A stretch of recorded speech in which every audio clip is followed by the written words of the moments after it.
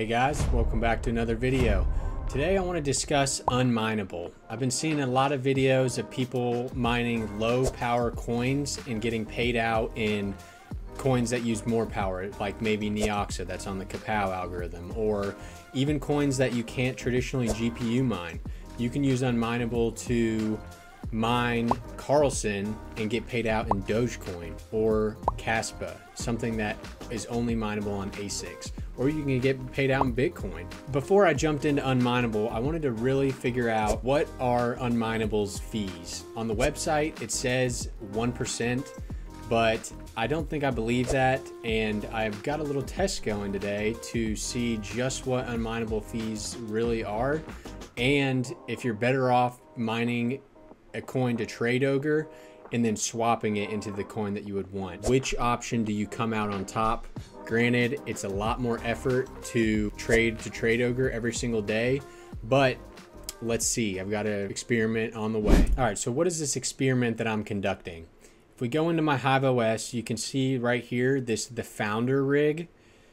It's mining half Neoxa and half Alephium.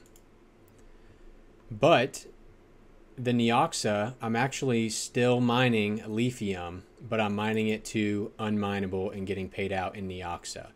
So what I've done here is I've split two 3070s and one 3060 Ti on unmineable and two 3070s and one 3060 Ti on LOL miner mining ALF straight to trade ogre. So the goal here is after one day, and that's coming up in two hours, I'm going to deposit all my coins into Trade Ogre, all my Alephium, and I'm going to swap it to Neoxa. That way I can compare how much Neoxa I got from Trade Ogre and how much Neoxa I got from Unmineable from the exact same cards over the exact same period of time.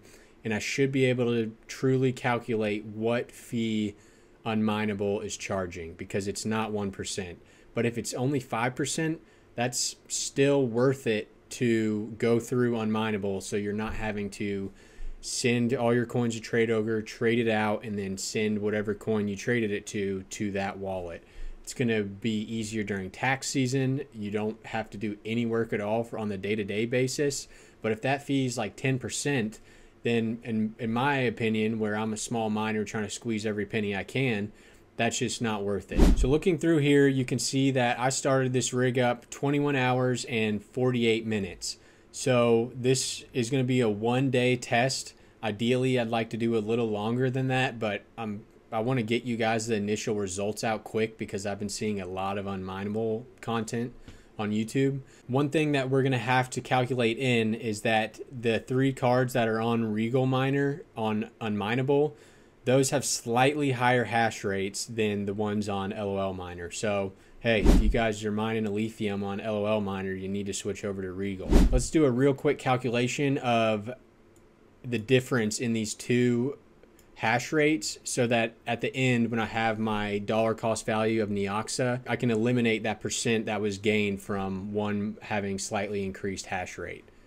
So we'll do 3.796 minus 3.776.02 divided by 3.796. This rig is getting about 0.005% more hash rate than the other rig. So when we see the final numbers, we'll take that into account.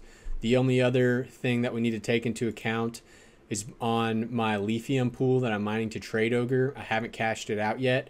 I did have five cents sitting in there. So Right now we're at 1.19, but that actually should be 1.14. But I'll see you guys in two hours and we'll do these calculations. For those of you who want to learn a little bit more about Unmineable, I'll walk you through really quickly how I have this set up. If you go to the homepage of Unmineable, then you can see all these coins listed on here. So first you decide which coin do you want to get paid out in not which coin do you want to mine, which coin do you want to get paid out in. So let's say I want to get paid out in, I just want to go straight to Bitcoin. So I select Bitcoin here. And then this up top right here is which algorithm do you want your cards to mine to be paid out in Bitcoin. So in this case, I'm going to choose a low power algorithm. I'd like to have my power bill as low as possible at the end of the month. A good thing to check so you are getting the most Bitcoin possible is just really quickly go to hashrate.no and check your card. So 3060 Ti, it looks like Pyrin is the top low power algorithm. So what I would do is I would go to unmineable and I would select Pyrin hash as what I'm going to mine with. So once you've selected Pyrin hash, then it's going to give you some fields that you need to paste into your miner config in HiveOS. I'm going to be paid out in the coin Neoxa and I want to get paid out to this address. But for the pool, I'm going to select configure in miner and then I'm going to use Rigel Miner. And if you go to setup miner config, the two things that you have to change that are different from normal is for your wallet template, you want to set it up as Neox colon your address dot your worker name. So I've got Neox and then the Hive OS is pasting my wallet and my worker name right here. So that's correct. And then for the pool URL, you want to use this right here. You don't have to add the stratum TCP slash slash. You can just directly paste in pyrinhash.unmineable.com and then either port 4444 or 3333 and then put in your overclocks. In this case, since I'm only using Unmineable on three devices, I have which devices I want to use. But then you can go ahead and apply your changes. And then when you go to your Unmineable dashboard, you should be able to see how much Neoxa you're accumulating. And this number, it's kind of cool, will just incrementally go up and you can just watch it if you just like to sit there and watch yourself make money. it's been 23 hours and I went ahead and stopped both miners in HiveOS. And let's see how we look so far before I actually do the Trade Ogre transactions. On unmineable, we have 336.78 Neoxa, which is $1.007. And then on our pool for Alephium, we have 0.534 Alephium, which is $1.25. Right now, before the Trade Ogre fees, it's looking like the Trade Ogre is about 25% more profitable than unmineable, which is a pretty significant amount. So let me get these deposited into Trade Ogre and I'll show me doing that transaction and see where we actually came out. Maybe it'll be slightly closer after the Trade Ogre fees. Alephium, while I was waiting for my payment, went crazy. It went up like 5%. So that was going to kind of skew the results of the test. So what I did was I just made sure that I had exactly a dollar twenty a in Trade Ogre I subtracted that five cents that we had in Hero Miners. That was before the experiment. Now I need to sell this Alephium. So if I go to market, ALF, USDT, sell. So already down to $1.18. And now we need to buy our Neoxa. Buy. Okay. So we ended up with 393 Neoxa for 107. So it's actually got a lot closer. For Trade Ogre, we got 393 Neoxa, and that was a dollar seventeen, dollar oh seven. Okay, and then that's the same since we already did the adjustment. And now for unmineable, we ended up getting paid 337.107.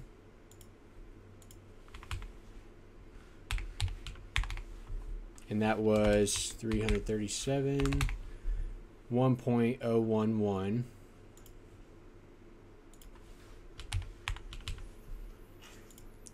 So our Neoxa adjustment, we need to take off 0.5%. So that will be this number minus this number times 0 0.005. So 335. And I'm not even going to take into account the dollar values. Let's switch this to equals this, this, divided by this. So your total fee that you're losing 14.65%. That's just above what I would consider probably I wouldn't do it unless there's just some coin I'm really trying to accumulate. The last thing to take into account is that the bigger your deposits into Trade Ogre, the better it's going to come out ahead of Unmineable. That's because those 5 cent fees that were really hurting us that brought us down from $1.2 to $1.07 those are going to be basically insignificant when you're depositing like $100 into Trade Ogre and taking that 13 cent fee. But Unmineable is still going to be getting the same amount. So it probably is closer to about that 25% mark when you're working with bigger values. Let me know what you guys think. If you have any other experiments you'd like me to run, or if I did something wrong in this one, let me know. And I'll see you guys next video. Peace.